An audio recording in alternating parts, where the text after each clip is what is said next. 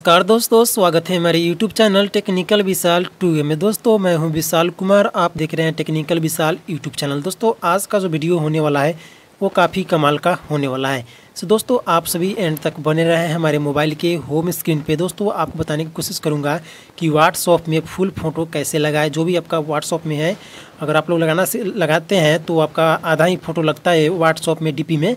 तो दोस्तों, हम बतलाऊँगा कि पूरा फ़ोटो कैसे लगेगा। दोस्तों, आपको एक अप्लीकेशन का ज़रूरत पड़ेगा, जिसका नाम है व्हाट्सअप क्रॉप यहाँ पर यहाँ पर खोजोगे, वहाँ पर जाकर प्ले स्टोर पर तो वहाँ पर आपको देखने को मिल जाएगा। जिनसे आप यहाँ से आप इस एप्लीकेशन को इंस्टॉल कर ले अपने फ़ोन में और इसे चालू कर ले। तो दोस्तों, चलिए हम पहले यहाँ पे व्हाट्सअप क्रॉप में कोई सा एक फुल फ़ोटो को हम सेलेक्ट कर लेते हैं, जैसे कि हमने ये फ़ोटो है। तो दोस्तों, आप क्या करते हैं, यहाँ पे फ़ोटो का आइकन पे क्लिक करना है।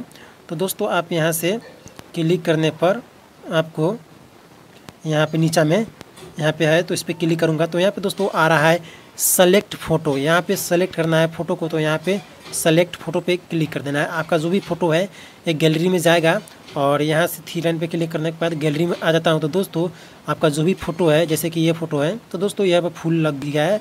सो आपको दिखने की कोशिश करूँगा कि यहाँ से आप जूम भी कर सकते हो, जो भी अपने अंदाज़ा में रखना चाहते हो, उसे यहाँ से कर सकते हो। तो दोस्तों, यहाँ से क्या करना है, इसे सीधा कर लेना है अपने फिंगर के माध्यम से उंगली के माध्यम से और उसके बाद यहाँ पर इसे फूल लगा सकते हो।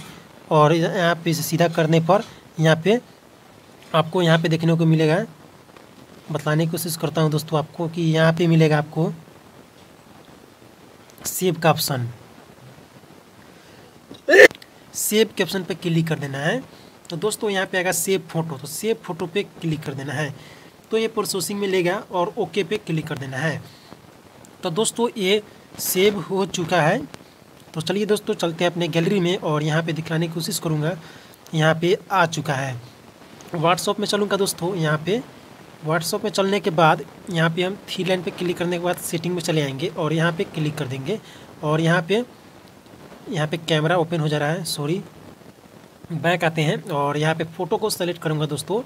आप यहाँ से उसी फ़ोटो को चूज़ कर देना है। यहाँ से फुल लग जाता है। डाटा ऑन कर देता हूँ, डाटा ऑन नहीं है दोस्तों, इसी कारण नहीं हो रहा है।